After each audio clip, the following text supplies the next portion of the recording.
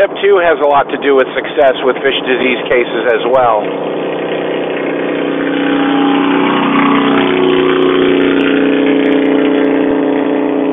You ever wonder why people ride on Fonnet cycles like that? Just as noisy as they can be for no reason. Anyway, sorry. Never really understood that. Did you know that the Harley Davidson made that much noise because it was a poorly engineered motorcycle? And it made a lot of noise because it had a problem with misfire inside the engine? but people fell in love with it because they liked that large and in charge sound. And so Harley had to engineer a way, with a well running engine, had to engineer a way to make that sound. Let's get started. The second consideration in a fish disease case is winter stress. It has a lot to do with uh, water temperatures. If you, the fish are uh, in winter stress, which means that they've been without food for a while because it's winter and they're not eating a lot, or the water temperature is very cold, um, that's going to complicate your recovery success chances um, with the fish. If they are currently very cold, their immune system is on hiatus. Uh, the first video before this one talks about handling stress, shutting down the immune system. Well, if they're handled and their stress rate, uh, stress situation is very, very high, and they're in ice cold water for the winter, this is going to be challenging. You're going to have to be very good to uh, make a big difference to these fish, but we'll get you through it.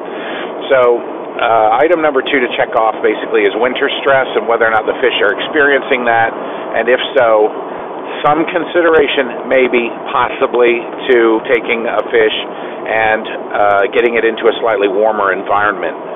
Uh, in some cases where the, the facilities are outdoors and they're uh, very, very cold but you could afford to heat it, um, which you can do with a paint bucket warmer, believe it or not. You just have to be careful not to let the paint bucket warmer fall into the water. But uh, you can warm a uh, small holding facility up, but you really don't want to do that much more than 10 degrees over the course of an entire day. Uh, the fastest I've ever warmed fish up comfortably was a degree per hour uh, and that's really, really pushing it. We can do that in a koi herpes virus outbreak where you're trying to uh, wipe out the virus before it wipes out the fish. A degree an hour is okay, but it's really pushing it. Um, winter stress brings up another point related, related to temperature, and that is during the summer, you get the exact opposite effect where water temperatures are very, very warm and warm water carries very low dissolved oxygen, so these fish during the heat of the summer are oxygen starved at a time of year when if parasites are chewing on their gills or something else is damaging their gills, they're already not carrying a lot of oxygen, and then in warm water where the water's not carrying a lot, the fish have a hard time breathing, a real hard time breathing.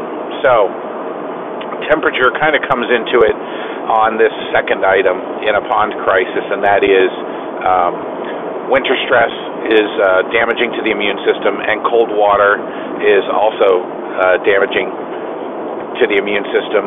And uh, the only plus to cold water is it carries a crap ton of uh, dissolved oxygen, so you don't have as much problems with treatments um, binding up oxygen and that sort of thing.